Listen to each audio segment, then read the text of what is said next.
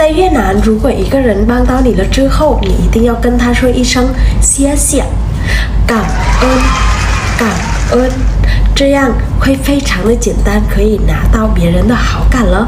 好，今天来学一下越南语的谢谢，感恩，谢谢大家，感恩 cả nhà，谢谢老板，感恩 sếp。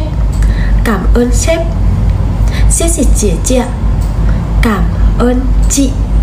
Cảm ơn chị. Xie xie cứ cửa Cảm ơn anh.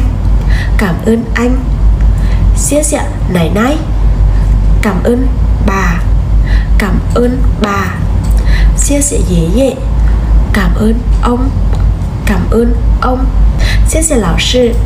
Cảm ơn cô.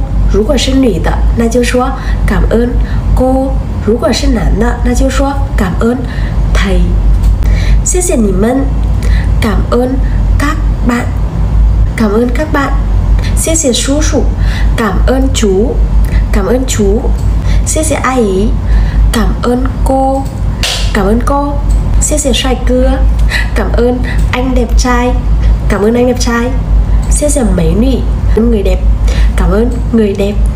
Họ đi sẽ khuê lắm à? Rú của sẽ khuê là bởi cái sẽ trang tình cái sẽ ai xin của quan tru năm mà xin dai nỉ sẽ khuê cảm ơn lắm á.